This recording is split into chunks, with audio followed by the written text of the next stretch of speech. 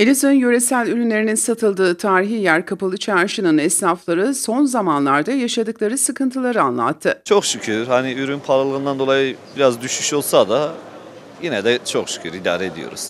Kapalı Çarşı girişinde yapımı devam eden inşaat ise esnaf için şu an en büyük sorun halinde. İnşaat yaklaşık 2 yıldır devam ediyor. Ee, şimdi burası PTT Meydanı, Elazığ'ın ana merkezi. Ee, buradan yukarıdan geliş kapalı çarşıya kesildi. Araba güzergahı kesildi, yaya girişi kesildi. Ee, bundan dolayı çok müzdaribiz. Ee, bayağı sıkıntılar yaşıyoruz. Hem müşterili, müşterilerimiz hem biz hem toptancı esnafı olarak. Bütün herkes e, müzdarip yani. Buranın bir an önce yapılıp teslim edilmesi lazım yani. Gelen misafirlerimize mahcup oluyoruz. Buradan yetkililere sesleniyoruz. Kapalı Çarşı esnafı ve çevresindeki esnaflar olarak sesleniyoruz. Lütfen bizim sesimize duyarlı olun.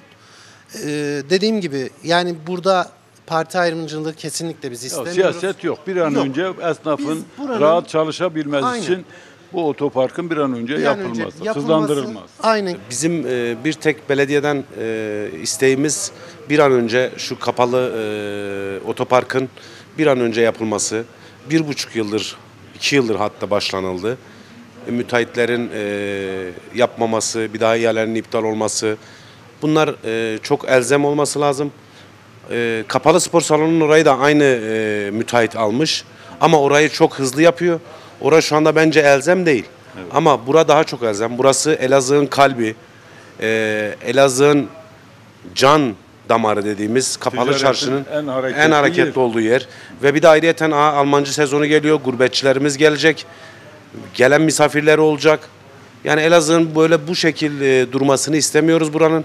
Bir an önce buranın yapılmasını yetkililerden rica ediyoruz. yetkililerden tek isteğimiz bir an önce çabuklaştırıp bitirmesi. Bu otoparkın bize çok büyük zararı var. Yani burası e, eskiden ticaretin merkezi, beyni olan yer. Şimdi kervan geçmez hale geldi. E, sebebi de Bu inşaattan dolayı değil mi? aynen inşaattan dolayı başka bir sıkıntı yok. Burada ne araba giriyor, ne araba park yeri var. E, müşteri gelince bir- bir şeyler almak istiyor haliyle. Araba olmadığı için çekip gidiyor. Yani bizim müşteri kaybımızın çok olduğu bir dönemden geçiyoruz. Bir türlü e, o inşaat tamamlanmadığından dolayı kimse kapalı çarşıya da giremiyor. Millet ara sokaklardan buraya kaçamak yaparak gibi sanki kapalı çarşıya geliyor. Yani belediye başkanımız Allah razı olsun daha önce kapalı çarşıya bir dizayn verdi. Tek yekün bir çeşit oldu burası. E, oranın bir an önce inşaatın tamamlanırsa biraz e, esnaf da burada rahatlamış olur. O konuda çok çok mağduruz. En azından eskiden önümüz açıktı. Şimdi komple çarşının girişi kapandı.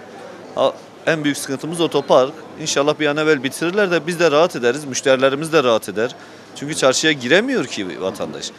Satışlardan şikayetçi olan esnaf geçmişe de özlem duyuyor. En düşüğü katık çeşidi çökelektir. Şu an çökelek 20 lira olmuş. Yani Allah millete de yardım etsin, üreticiye de yardım etsin.